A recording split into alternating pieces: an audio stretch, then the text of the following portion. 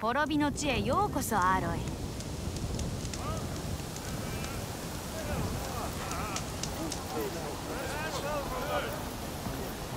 イなあアルバ。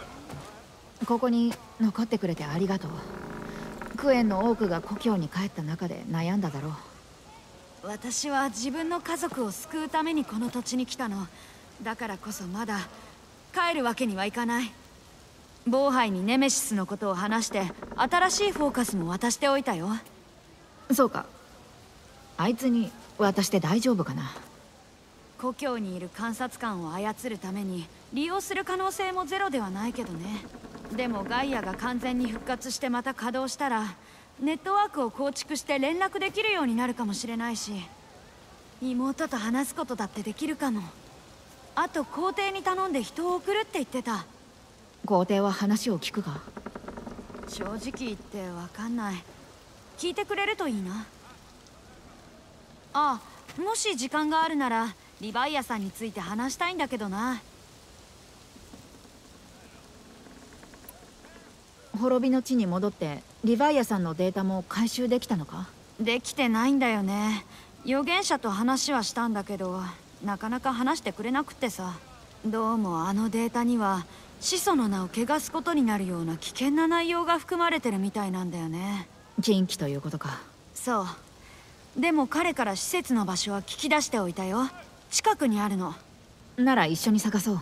私はいつでも行ける。今すぐでも。データを取りに行こう。うん。こっち。よし。行こう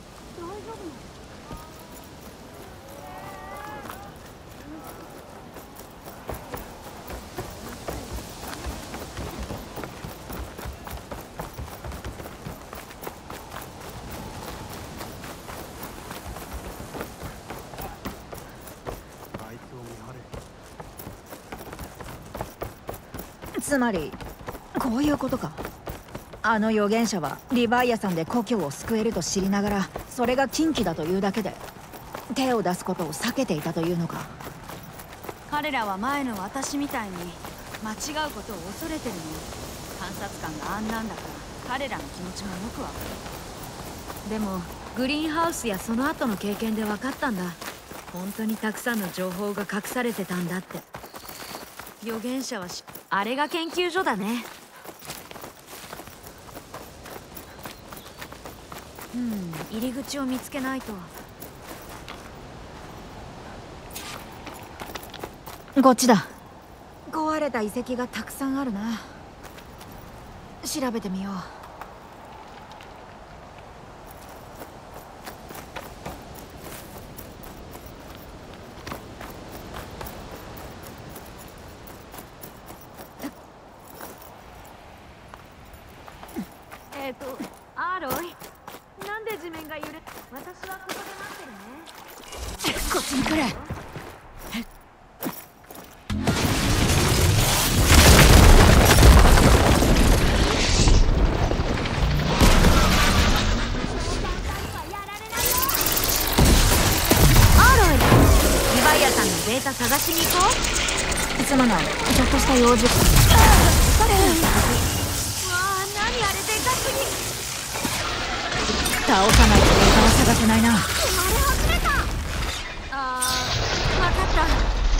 ってみる。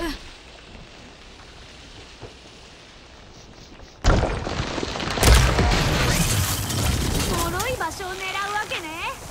いい戦略。やったぞ。やったね。今夜は悪夢にうなされそう。よしこれでデータが探せるな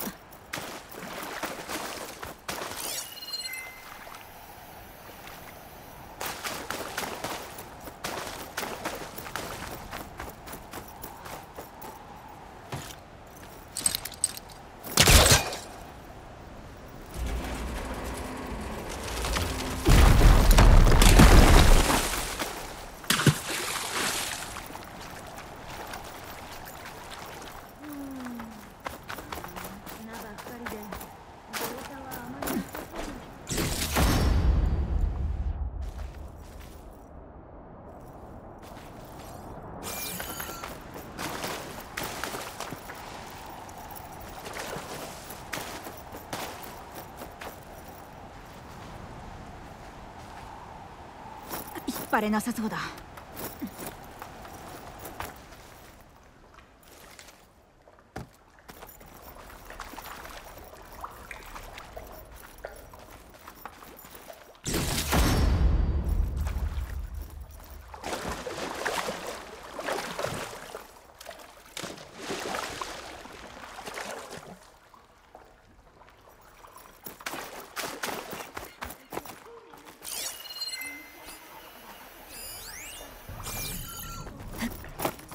楽に上まで登れたろうな。ほら上を調べよう。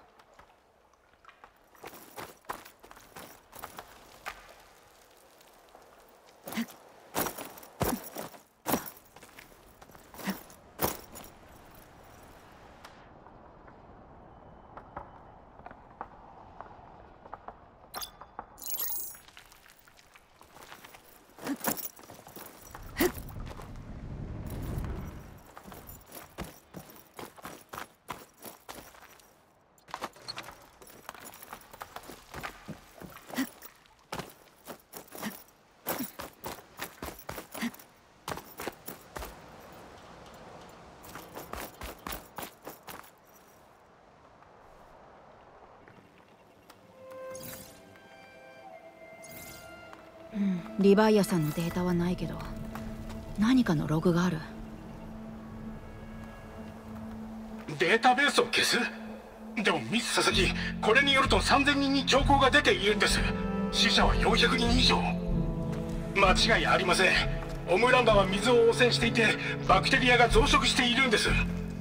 つまり同じ構造で作られたリヴァイアさんも。頭がいいのね。大学も首席でしょ？父が会社を築けたのもあなたみたいな一流の人のおかげ。でも私たちの弁護団も一流なのよね。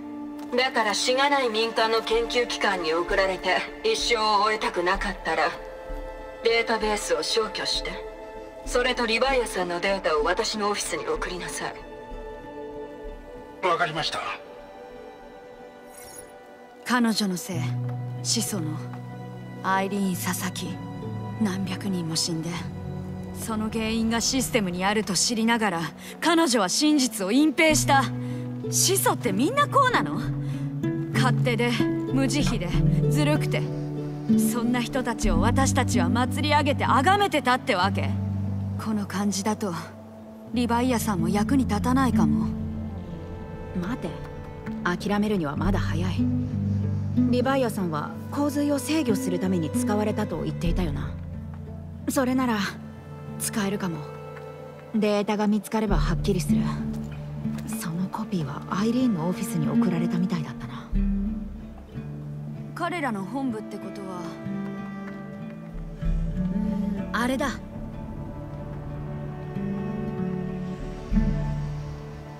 行こう。あの塔ならすぐに行けるはず。よし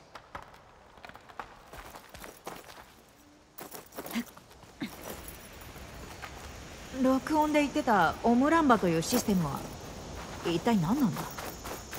遺産によるとリヴァイアさんの前任のシステムで洪水を操ることで枯れた大地に命をもたらしたんだって。クエンの知識は大したものだな。預言者はリヴァイアさん復活のために何年も費やしてきた。アイリーン佐々木のデータもほとんどその時見つかったの。今はもう入り口は使えない。他の方法を探さないと。近くの遺跡に兵士が足場を作ってた。そっちからなら渡れるかも。行ってみよう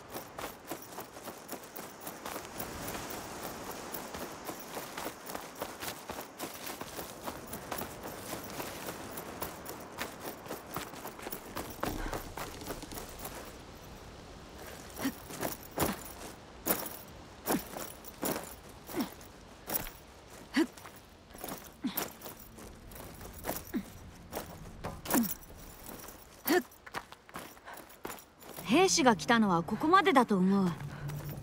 塔に入るにはもっと登らないとダメだな。先に行って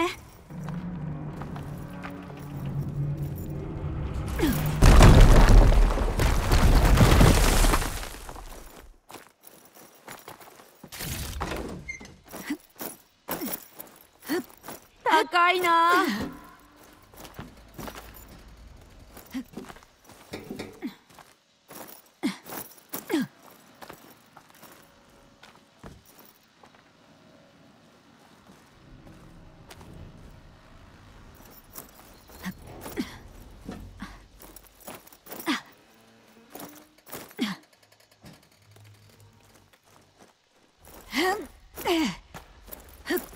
大丈夫か？全然平気。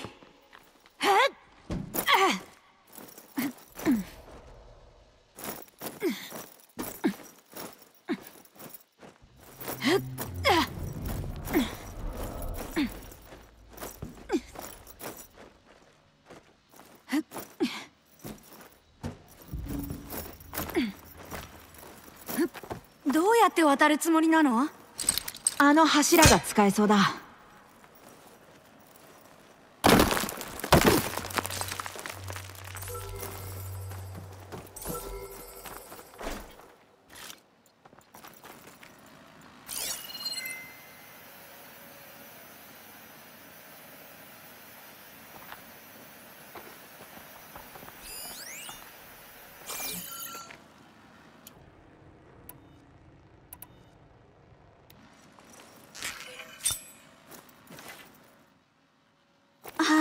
思ってたよりずっと高いかも。グリントホークだ。奇襲をかけるなら今だな。こっそり進んでもいいかも。この塔から落ちないようにしながらね行くよ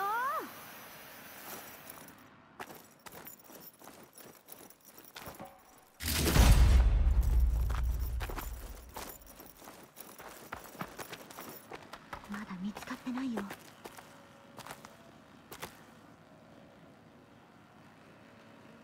けない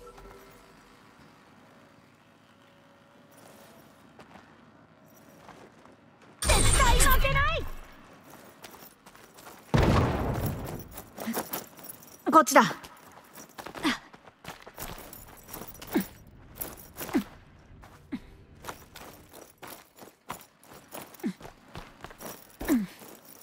えアロイこれってかなりの高さじゃない大丈夫だアルバ。とにかく下を見るな。だよね。余裕余裕。この塔だ。渡ることができそうだね。ジャンプすればの話だけど。大丈夫だ。まずは瓦礫を片付ける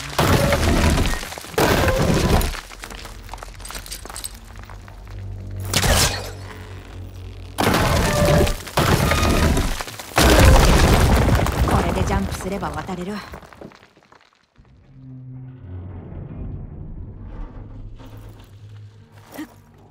いけた。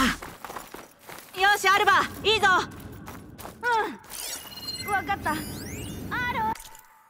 ロイ問題ないかちゃんと見ててくれる？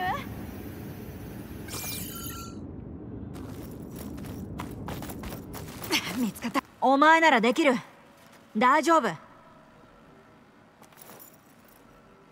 折れないで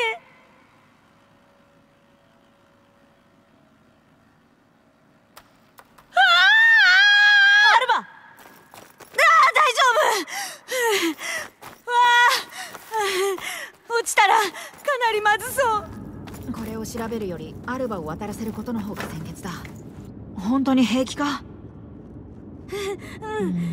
大丈夫。パスコードは会社が設立された月と年みたいだな。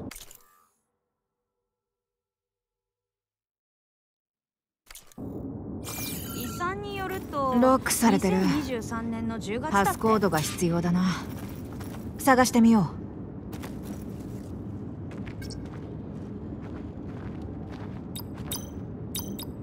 社が設立されたのは10月で。それって10回目の月ってことでしょ？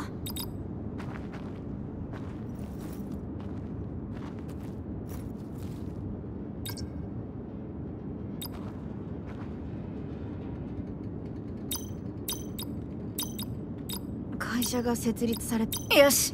会社が設立されたのは10月で。リヴァイアさんの会社が設立されたのは10月でそれって10回目の月ってことでしょ？コスト削減戦略？ちょっと。コスト削減？人の命がかかっているのよ。オムランバの件では従ったけれど。でもこれはひどすぎる。落ち着けアイリー。ン危機管理担当とも話した。再び事故が起こる確率は想定の範囲内だということだ。リヴァイアさんは継続する。父さん想定の範囲内だろうとなかろうといずれあの欠陥が命取りになるわいいか？いつの日かお前が上に立った時に好きなようにやればいい。だがそれまでは私のやり方に従え。アイリーンは父親とうまくいってなかったのか。隠蔽も彼女が言い出したことじゃなかったみたいだ。それでも加担したことに変わりない。よし先に進もうオフィスはこの上だろう。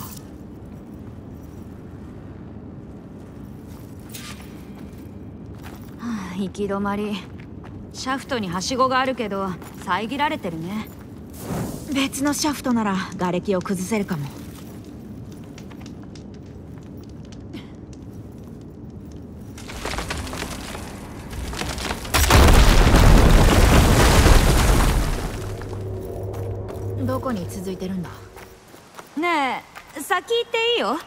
私はもう少し死ぬ可能性の低い方法を探して登るから。分かった。届く範囲に行かないと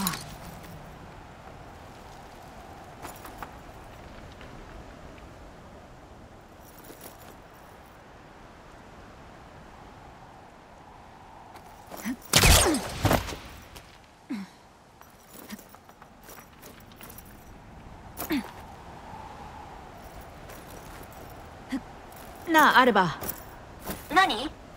どうもわからない。リヴァイアさんを作ったのは父ではなくアイリーンだと言ったな。何が起きたんだ？そのことは遺産に書いてないんだよね。その情報はひょっとしたら近畿とか？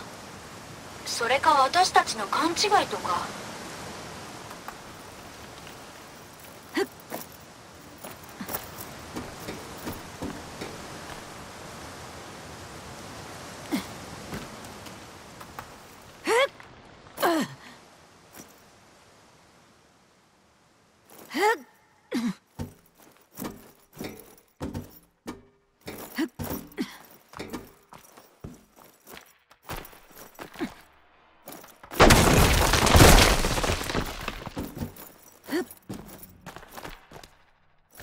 そっち大丈夫？アロイ？ああ高さはあるけどな。もっ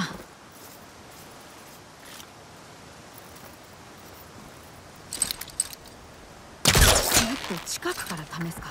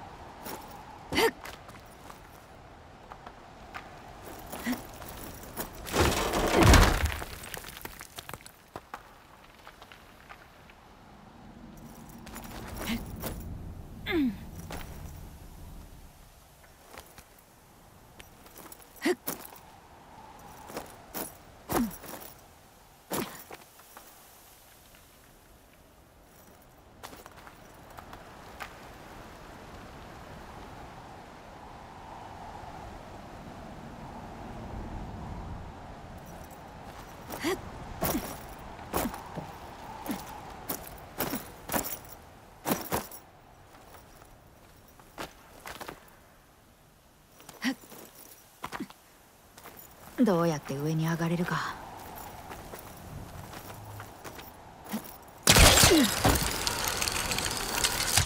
そっちは登る方法は見つかったか？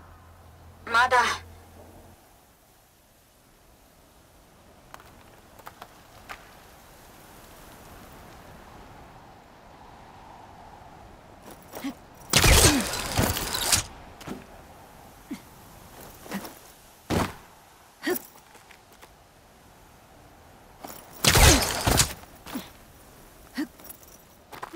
なんとか登れた。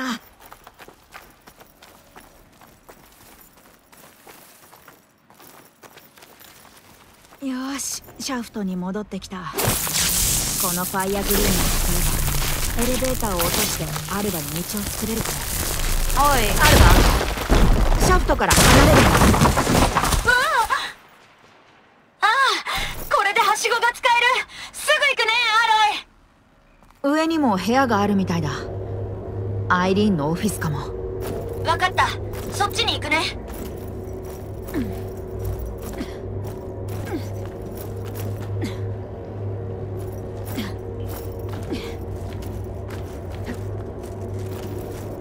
アルバは大丈夫だな。ここも開かないか。パスコードを突き止めないと。ここにある異物はきっとアイリーンのものじゃないかな始祖の異物を見つけるなんて預言者たちに羨ましがられるだろうな。扉を開けるのに使えるかも。こ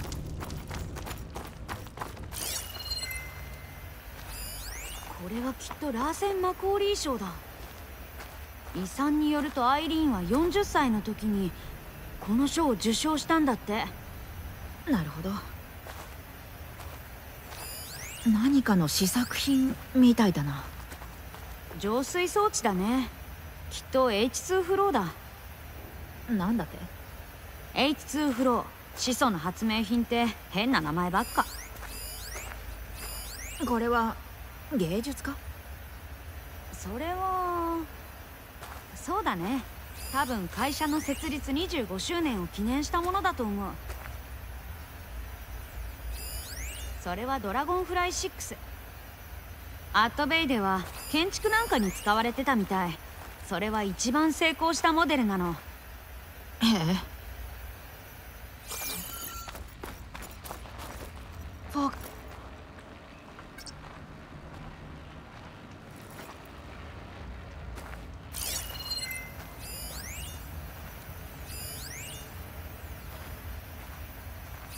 アイリーンは何歳で賞を受賞した？40これまでに出た数字合わせればパスコードになるだろうか。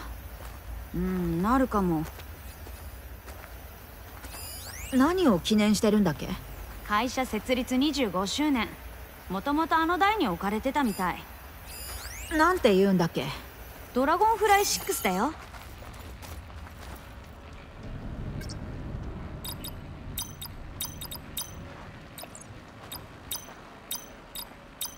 何も起きないな。うまくいくと思ってたのに何か見落としてるのかな。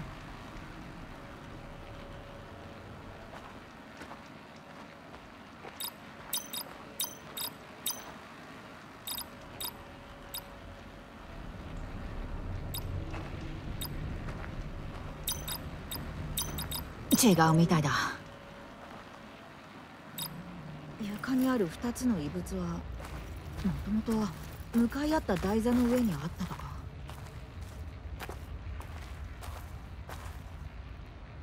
フォーカスなら見えるかもしれない。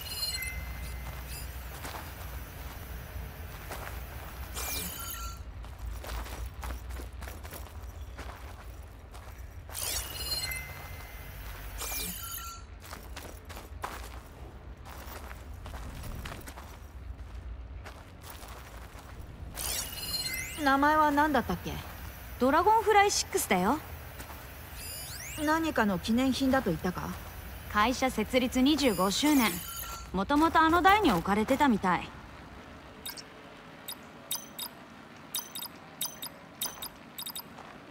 これじゃないな。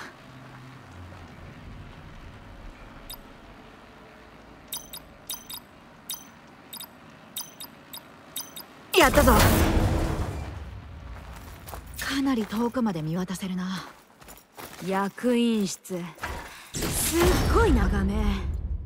きっとアイリーンの部屋だね。リヴァイアさんのデータがあるかもしれない。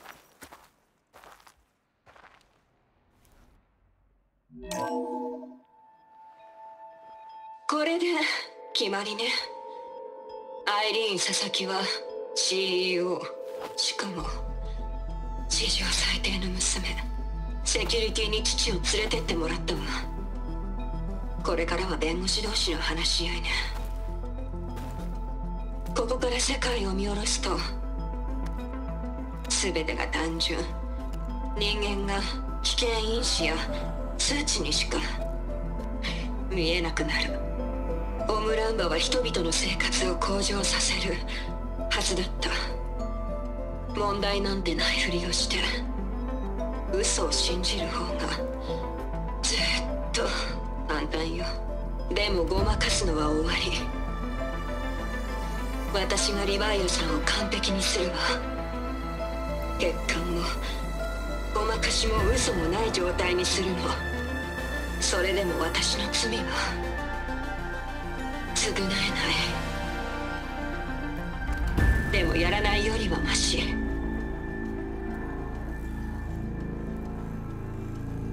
彼女は父親を追い出し会社を乗っ取ったってわけね。リヴァイアさんによる犠牲者を出させないために。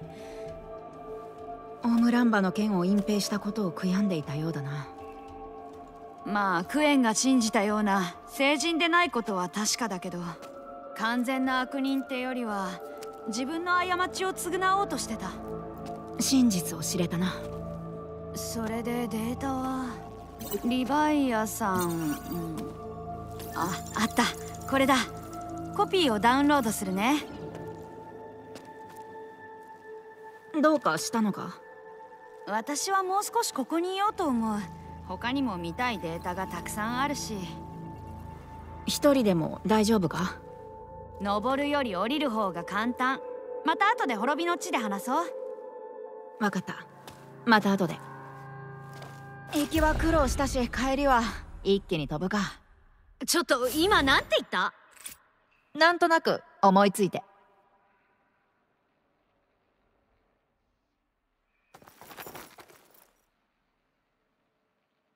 私は大丈夫。